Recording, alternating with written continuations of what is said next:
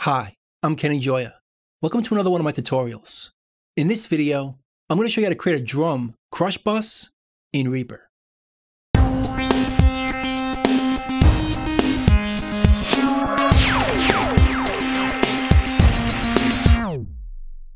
Now the idea of a drum crush bus is to create a separate bus that we compress or distort a lot and mix it back in with the original drums. I'm going to show you how to create that inside Reaper. So I have a track in front of me here with a bunch of drums. Let's hear it.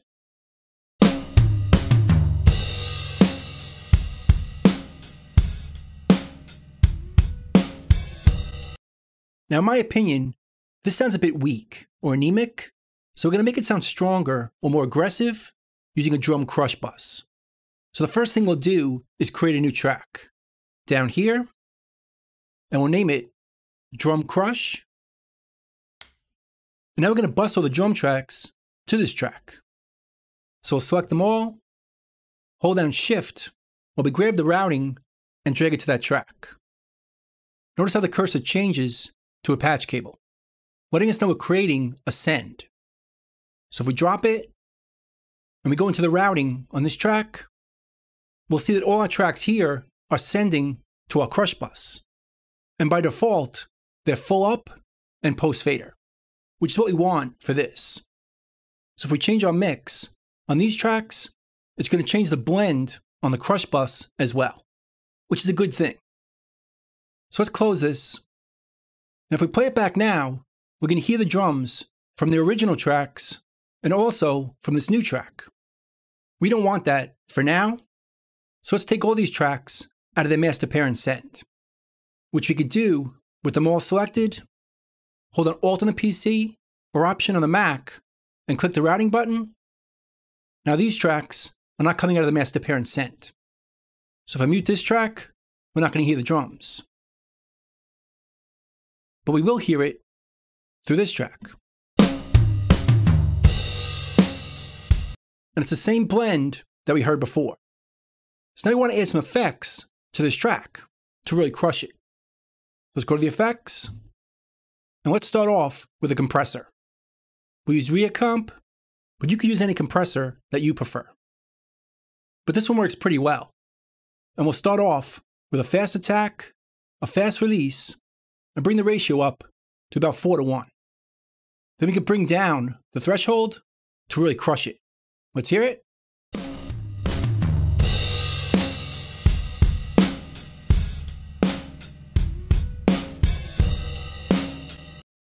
Now we can bring up the attack so we can hear the transients coming through.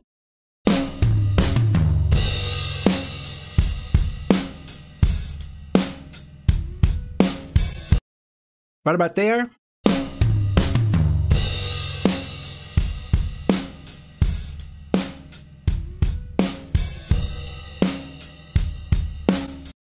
Then we can bring up the release so it really pumps in time with the song.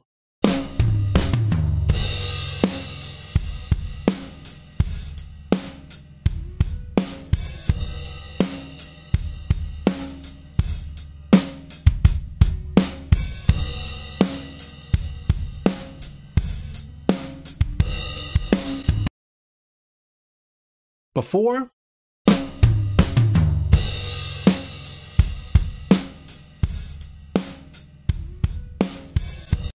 That's pretty crushed.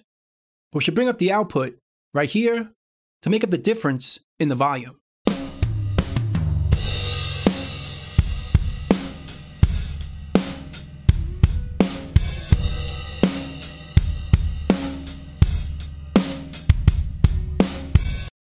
That feels good there.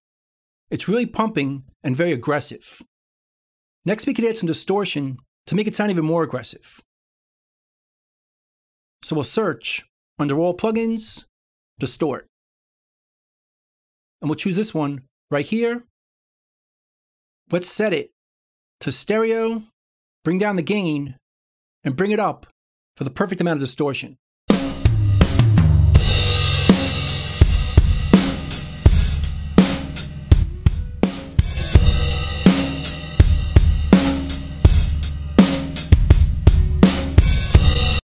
That's feeling pretty good.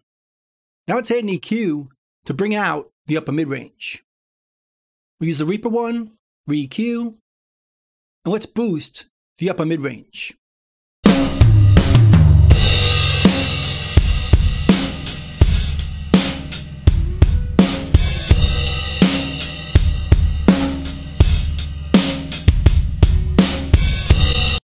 Just so it's a bit more present.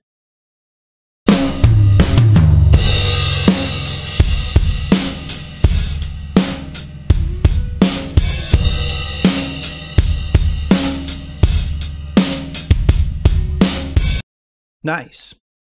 Now we can mix this back in with the original drums. So let's select them all again. Hold on Alt on the PC, Option on the Mac, click the routing button, and that's going to turn back on the master parent send for all the tracks. So now if we mute the crush bus, we're going to hear the drums the way they played back before. But now we can mix in our crush bus to get the perfect level.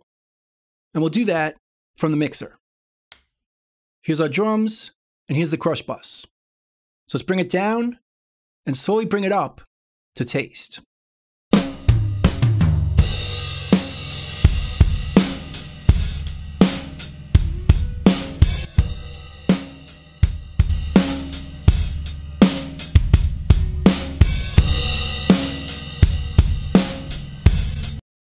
That sounds a lot better. And notice, you don't notice the distortion or the pumping quite as much because it's blending with the original drums. But it makes it sound more powerful or more aggressive when we blend it in. Before,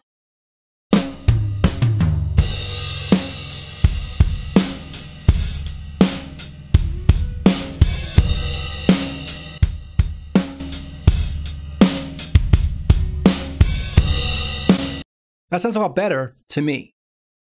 Now we can get more aggressive with this. Let's go back to it. And instead of using this distortion, let's try a different one.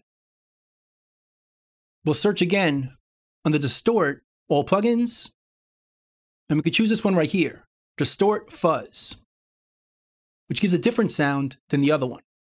Let's put it before the EQ. Now this is kind of loud, so let's bring the shape down completely and switch it to stereo. Now let's solo the crush bus so we just hear that.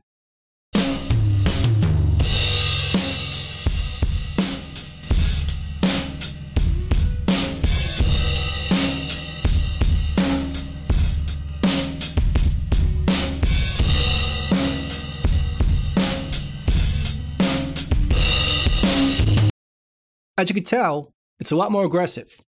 When we blend it back in, it'll sound more subtle. So let's bring it in very slowly.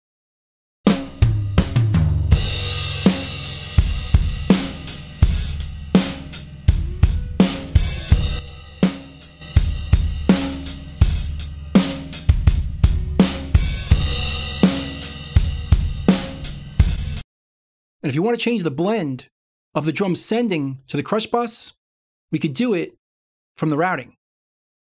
Let's give it less kick.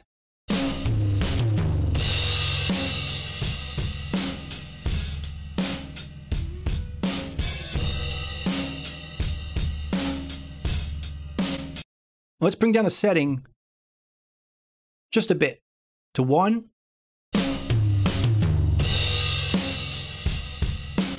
Let's blend that in.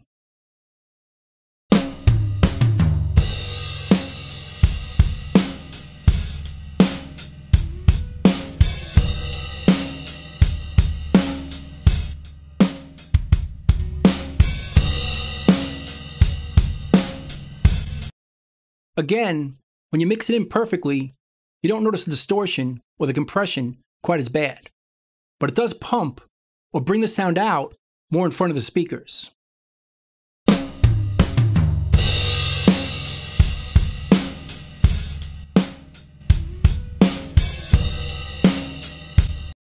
Now, one other thing I sometimes do to make this easier is I'll duplicate the crush bus, duplicate tracks, then I'll name the first one All Drums, and turn off the effect on this one. Alt on the PC, Option on the Mac. Now this track is just dry. Then we'll select these tracks and take them out of the master parent send. Alt on the PC, Option on the Mac. Now we're going to hear the drums from just these two places. Let's put this one full up and blend it this way.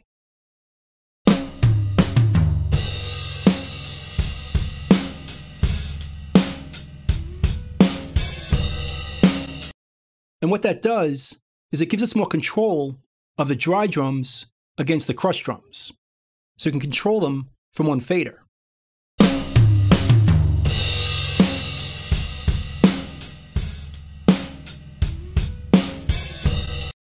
But the result is still the same. It just matters how much control you really need. But feel free to experiment using any of your favorite plugins for compressors, for distortion, and even EQ. Make it sound really aggressive or pump, and then blend it back in with the original drums.